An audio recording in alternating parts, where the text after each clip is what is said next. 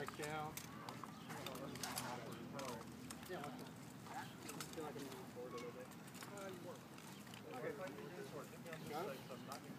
Yeah, feels weird as hell. Yes, it does. Yeah, it does, but it works. It works, and get your sword over there, and the next strike like Really good. is easy. You just pull up and strike it. Oh, that, that generates that power. Yeah. Now, do you make a snap when you're doing that? Uh, you probably won't have time.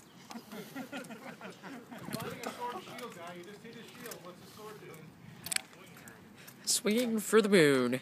What you do is you let go, almost let go with the upper hand. Come up, see my hands almost holding on a couple fingers. Comes down here, grabs again. Comes this side, so I only have a couple fingers. That's all you need to get that thing out there rigid. It won't stop the blow, but it will slow it down so much it doesn't matter. So this rolls like this? Yeah. And then you pull up and around this way. Go go behind your hip. Just, pull it up over here. Drop it.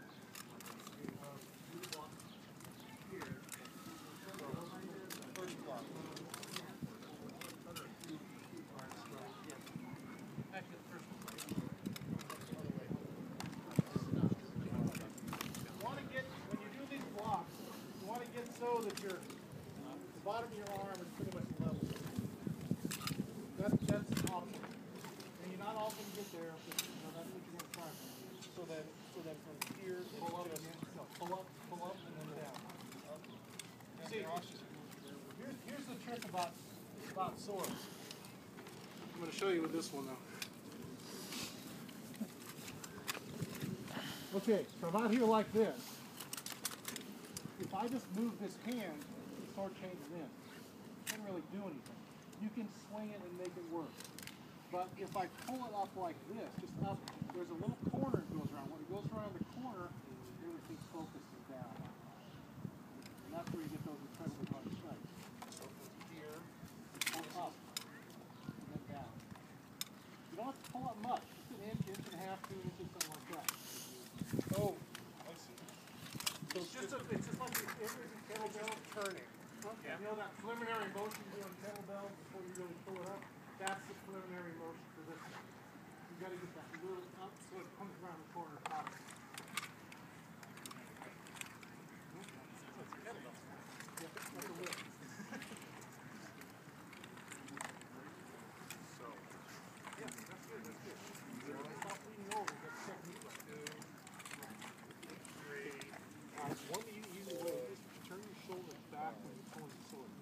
So if I'm down like here, instead of trying to do this, one, turn the body.